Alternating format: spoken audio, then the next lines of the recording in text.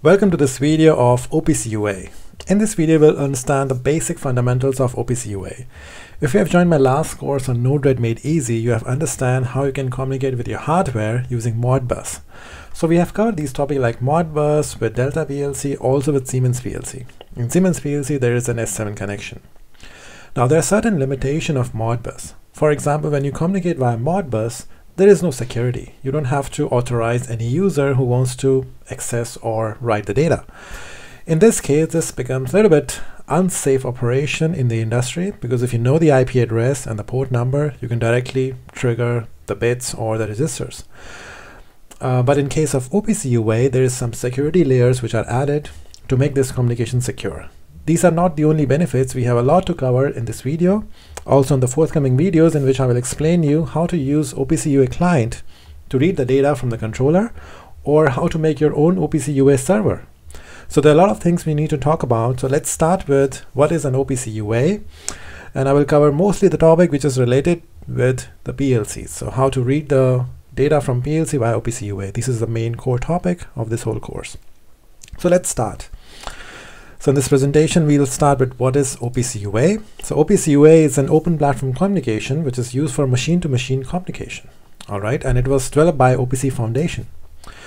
So for example, we have a machine in the industry and we want to communicate with this machine. So what are the features which OPC UA will bring on the table? The first feature is it has an integrated information model. Now, the model of OPC UA has a standardized structure in which we talk about nodes. So we we need to know the nodes of the data and that's how we used to talk to each other. And every data has a specific node ID and every ID has a specific name a specific syntax okay? We will understand that in detail. So this information model will study how we will study this more in detail when we will create our own server. But in short I will tell you it is a standardized information model which is having which is following some rules okay Second is open source. Now this is an open source technology. You can find uh, open source uh, OPC UA servers which you can use or you can find open source OPC UA client which you can use. Okay, so this technology is open source and you don't have to pay most of the time for these OPC UA based clients. And then secure model, as I told you before, we have some user authorization which is asked to communicate with OPC UA server. So this is more secure compared to Modbus and other connections. Last but not the least, cross platforms. Now this is very important. Now most of the softwares which are coming in the market supports OPC UA. The recent example I was working with Visual Component, which is a 3D based CAD designing software. And not only you can design your CAD, CAD data, but you can also simulate it with your PLC. So if you see this example in this case, I'm simulating the skate CAD data with my PLC. And this is possible because there is an OPC linkage between the software, which is Visual Component, and my hardware. So now the more and more softwares are coming which provides interconnectivity between the software and the hardware or software and the other software or hardware and the hardware. So this is possible very easily using OPC UA. All right. So let's proceed with the first thing. And I have mentioned a link here, which I will also mention in the next lecture in the article or in text file. And this video explains more about OPC UA. It's a very nice and short video. I would recommend that you should see this video. So this will clear you some more concept about, about OPC UA. So let's proceed. How OPC is evolved now. I will tell you some basic different types of OPC. So the first one was OPC DA server. It says it defines the exchange of data, including value, time, and quality information. So here we just talk about the data, data and its value and its the quality, if it's a good or if it's bad, just the data. Then there's another type called OPC A and E server. It defines the exchange of alarms and event types. So if there is specific alarm in the system or some, some event, this is used to notify those information. So we have OPC DA just for data, the important data, like the sensor data or the actuator data. And for some alarms and even we have OPC A and E. And then we also have OPC HDA server, which has some historical timestamp data in which you mention the timestamp when this thing happened, when this alarm happened, or when this reading is coming, when this reading was changed. So you have a proper time syntax or timestamp for that. So these were the three different types of OPC before OPC UA came which includes all of these features. So it has data, which has alarm, it has events, and also it has some timestamps which you need for the data. So that this this defines complete OPC UA. It's a unified architecture. So this UA stands for Unified Architect. All right, this was a brief about it. I will not go too much theoretical about OPC UA. We will come to some practical exercises. And the next thing is um, some example and application. So for let's say we have a machine and this machine has several sensors and several actuators or some information is coming and this machine wants to share data easily. So how this happens? So in the first step we have OPC UA server. So let me just take a pen. Uh, I will go to full screen mode and take a pointer on the color I would prefer blue somewhere. Okay, so let's say we have a device with OPC UA server. Now in OPC world, we'll talk about two things. We talk about servers and we talk about clients. If you remember, we had the same same terms in Modbus. We have Modbus server and Modbus client. And we have discussed Modbus server is which, which holds the data.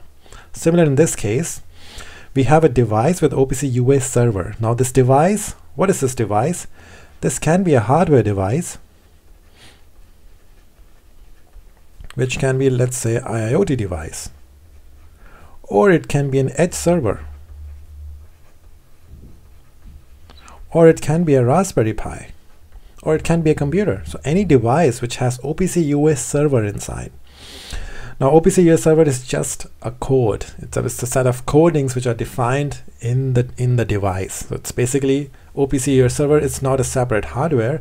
It's a, just a separate uh, set of programming and co coding inside the device. Okay. So when we will create OPC UA server, you will understand what I'm talking about.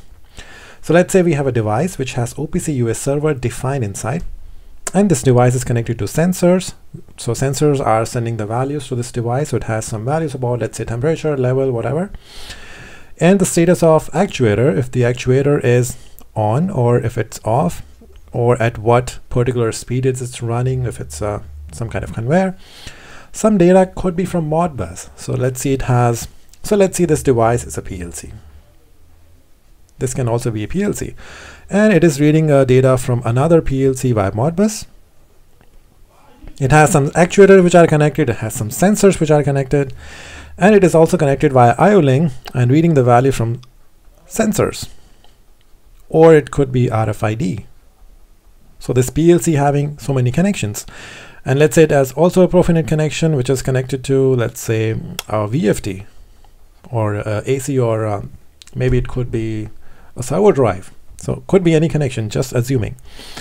And now it also has an OPC UA client. Okay, I'll come to that later, but let's assume it's also connected to OPC UA client. So server is connected to so many uh, devices here, getting the data. Now what happened? Then you have a device with OPC UA client. Now client here is similar to Modbus client, which is used to get the values from the server. It is also used to write the values to the server. So it does both of the operation. Now in this case, client can be a Raspberry Pi, which can also be a server. That's not a problem. It can also be a computer with a Node-RED or any other OPC UA client. So here Node-RED is actually OPC UA client. Node-RED can also be server. So one device can be a server and can be a client as well. Okay. Or let's say another client, it's a software automation studio. So you can control your automation studio from what is happening inside your PLC just for simulation. And let's say visual component, which I explained before, it is also kind of client or UaExpert, which I will use most of the time in this course to get the values from the server. So client can be a piece of software. It can be hardware with a software inside to get the values. Okay.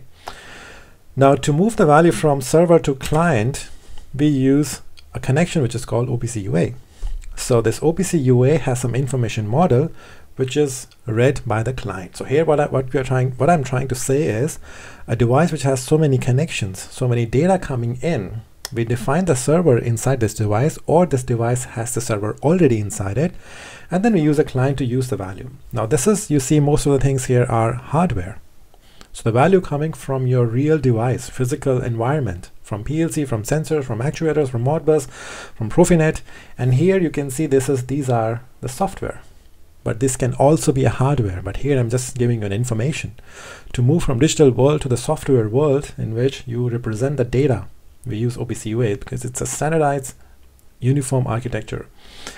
And I mention here OPC client because this server can also read the data from a client. For example, this client can further send the value to another OPC UA server.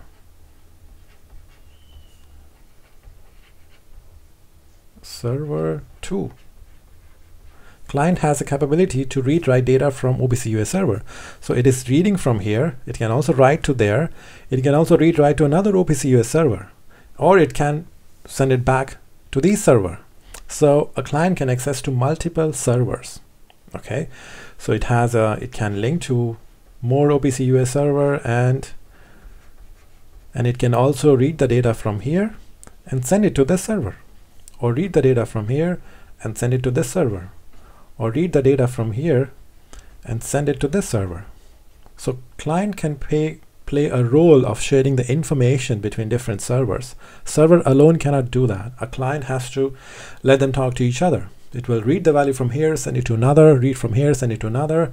So if you have a lot of OPC UA servers in your plant or just one UP OPC UA server, you have the uh, possibility to interact different devices via OPC UA via the secure channel. Okay, so let's see what we have. Okay, this is like first the client send the request and then server approve the request and give the response. So when it sends the request, the server checks if there is a proper certification or a proper user authorization, which is valid or not, and then server give the response. Okay. Next was case one. So we'll do some case studies. We'll do take some examples of how OPC UA server works with, we'll start with a simulation and then we'll come to the real values. Okay. So we will do this one in the next video. We will see how the OPC UA server can be created in your computer and you can download this software OPC UA server simulation. It's for free. You can download in your computer. And I will put the link in in some text file and you can see that okay? So I'll see you in the next video